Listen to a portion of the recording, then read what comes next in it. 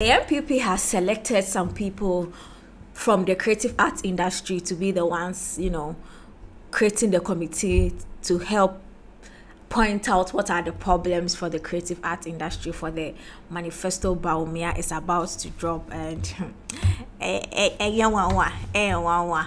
now um, some mafias are after Shatta Wale I don't know what is going on, uh, what, what is happening in that sector, but we'll talk about that as well. It's quite an interesting conversation. There's also a bit of Asamoah Gyan also um, being the head of the committee in charge of the we'll talk about that. We'll talk about all of that. And Omah Lay is causing problems in people's homes, and there's also a problem with Hajia 4Reall. Let's talk about all of that. Welcome to the show. My name is Tilia Kenipa. Please, once you are here, do subscribe to the channel because I realize that a lot of you watching my show are new people who haven't subscribed to my channel. So I'm very excited to have you here. So subscribe to my channel and let's get on to it. Now, Asamoah was trending heavily simply because Bawumia's manifesto committee, the I mean, manifesto that he's about to draw, he had to create subcommittees for every sector who will advise him on what to do and what to put in.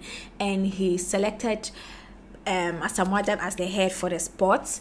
And then so they will create committee and then he will be the head and then he will be the one to point out. And of course there was a lot of conversation a lot of backlash politics entering politics this this that kind of thing then Gyan came out to write something that if we want to talk about problems and we don't want to go near it and be part of the solution process, how do we want things to change?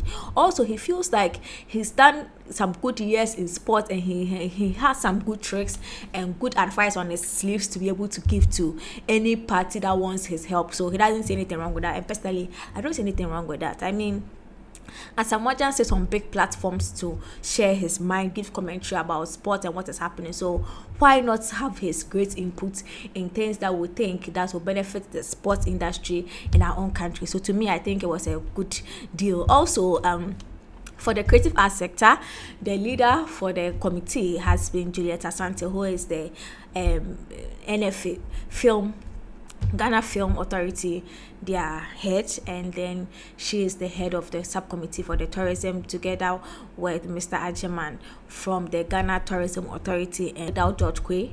Uh, if you want a well-rounded person in the creative arts industry unless of course maybe they called George Quay and he turned it down or he was not going to be available but I don't I don't think because come on George Quaye has knowledge in the music side, he has knowledge in the stage, movie. Like I feel like he's well-rounded event and you know the PR, everything, the sponsorship side of the entire creative side, the business side, the policy side. I think he has a general outlook. Well, as I said, this is my own prerogative. That this is what I think. Moving on, um, Omah Lay is causing problem in people's homes. Omah Lay is causing problems in people's homes. Now, Omah Lay had a show in London and a girl went, in fact, a guy paid for tickets cons- uh, with his girl. They went and Omah Lay, you know that thing he's been doing. You know, I told you that Omah Lay did a certain video in Amsterdam where he was grinding some girl. This girl, you went with your boy, you and your boy were standing front, and then Omah Lay called you, and this lady went. And the things Omah Lay did on stage with this lady after the show, the boys have left the girl. It's like it has become a whole conversation. People are saying that it's not a girl's fault, she was Charlie, it's Omah Lay people also saying that the girl, did not respect the guy. It's a lot of conversation. To me, I just feel like if you know you are going to do something like that, I feel like yes, in as much as they want to give fans an experience, what the fans to be a part of the show. I think if you are going to do something like that, usually you have a dancer you do that with, a backup dancer you do that with. Yes, I know a lot of stars also try to get people in the audience, but this girl should have known her limit. I mean, you are with somebody like I, I can imagine how embarrassing to be for the guy how embarrassing it to be for the guy. But um these are all things that happen. And I, I am sure the girl has learned her lesson. And I'm sure now the the boy the boy there people say he will never win any argument in his life again because anything he will talk about he'll say no be you Owale chop your Owale Owale clear your girl for stage that kind of thing.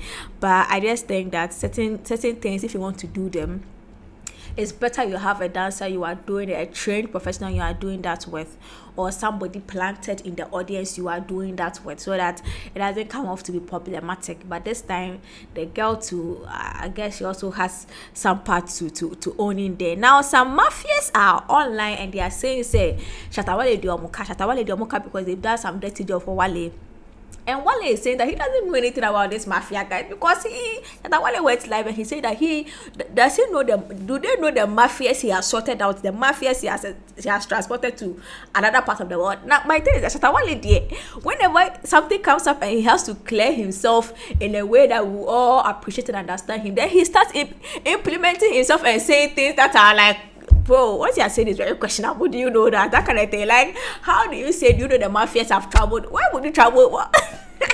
Why would you be expecting, uh, expecting? Why would you be, you know, flying mafias out? So why would you be doing that? Like, why would you even say that? There are some things you don't say them even if you want to clear your name you don't say certain things it just implements you and makes you look worse nonetheless Samuel Flex has spoken about it and he, he said he was he has been on call with Shatta Wale and Shatta Wale doesn't know anybody or any of these people also um he's tried to reach out out of the guys that he's been with from day one thinking that maybe if anything maybe he will have some deals with them. But the guy too says nothing. And the way they are saying they want he wants to meet them at um mr abbas sariki's house. And then if they've done any job for him, he will sort them out. And I'm saying that if you haven't done any job for them, or if they haven't done any job for you, why do you intend to settle them instead of possibly, I mean, looking for other ways to clear your name or make it look like no, I don't have any affiliation. Then why do you want to settle them?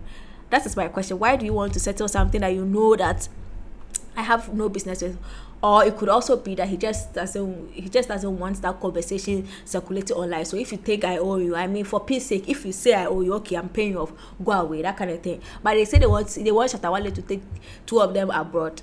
Hey, after you have to show your face that you are mafias and you do dirty job you think that you go to the embassy and they will say yes because it's Wale so go come on you people stop the joke nonetheless uh, another person that is having problem with um, outside there is Mona 4Reall Mona 4Reall has pled guilty to romance scam and using her her accounts as a means for you know money for from these scams being passed through. Now my, my it has been a, a, big conversation a whole conversation. My thing i'm always going to say is that not all that glitter is gold or not, not all that glitters is gold. And sometimes all that glitters is gold. Some people have years of work put in whatever they are doing that you are seeing now. So if you're a young lady especially a lot of young ladies now are into hookups because they see a certain life that certain stars are living. They don't know what went into that life they are living now whether it was pure hard work they've put in years before social media became a thing that they are now ripping off, or if there's something they have done shady in the past that they are just showing you the end results. So why don't you live according to your means? A lot of young girls now are into hookup because they are trying to live a certain life that a certain star that has done years of work or has done something shady and is ripping off now is doing they want to match up please cut your coat according to your size. Mimbo miti that is my natural hair. I am not a dead i'm not dead. I'm still pretty. You can do your whatever you want to do without makeup. You can do don't you don't have to always um, stretch yourself thin just because you want to fit in if you have to stress yourself and if you have to stress and do be part of certain lives just to live a certain life or be recognized in a certain group you don't belong there and you only spend your life doing the worst just to be, be just to stay in that position. Please be yourself. Also i just feel like um, we should look closer to people that uh, they, they advise young people. Sometimes their lives are not all that truthful so we see them jumping on interviews, going on platforms, schools inviting them to, to talk to young girls, making it look like they have done some work. Please, sometimes it's not true. Somebody can say, I sold garri for one month and I, I made my first one million dollars. Bro, who are you kidding? Like, Charlie, be serious with you here. That kind of thing. So yeah some people have genuinely put in the work and others they, they just haven't so not all that glitters is gold or not not all that glitter is gold so please be vigilant and do what you can do within your means. A lot of hookups now is because young girls are living above their means. Who near juma who use your iphone are you okay? Like how would you sustain your life? Okay now um finally afronita is in ghana. They posted a picture with her manager now abongo nelson. She's in Ghana after her auditions and everything in the UK. She's back in Ghana, and so let's wait to see how this British Got Talent thing unfolds. But I have a feeling she did astoundingly well over there, and I know this is going to be a big springboard into the next phase of the good things that God and life has in stock for Afronita. So I'm very excited, and I know her fans are also thrilled to have her back. And also, I know Medikal will be performing in the O2 very soon. So I know her dream of performing at the O2. If they link up with Medikal, something good can happen with that. So let's move on to Palabra del Dia. I want to show you how to say I like you in Spanish. And in Spanish, if you want to tell somebody I like you, you just have to say me gustas. Me gustas. So me gustas in Espanol is I like you. So just subscribe to the channel, press the bell icon, and if there's anything you have to do, do it now. Hasluja.